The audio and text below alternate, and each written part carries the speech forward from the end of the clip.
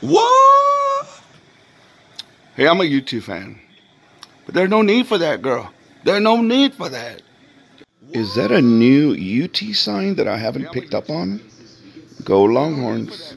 We love you.